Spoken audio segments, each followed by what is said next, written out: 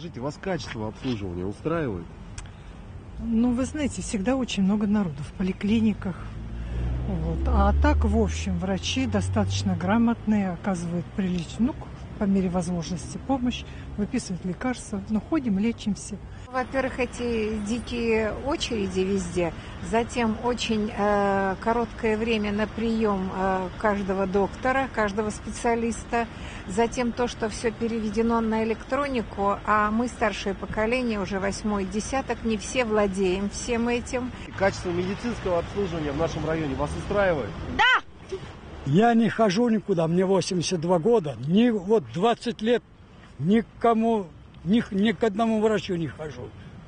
Не болею. В детской поликлинике очереди, например. Бо- Ну, тяжело приходится. У меня, например, их трое, и мне надо в поликлинику сходить, записаться к врачу тоже очень тяжело.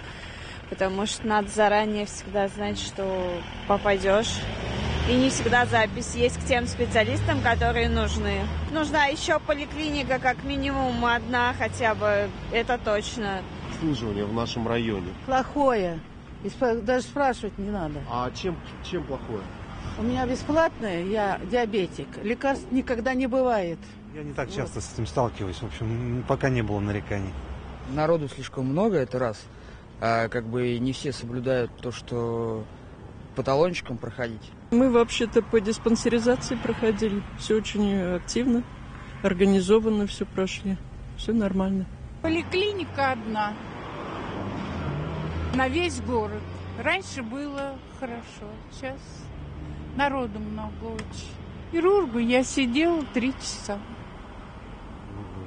Пока не обращался, еще дыхаю.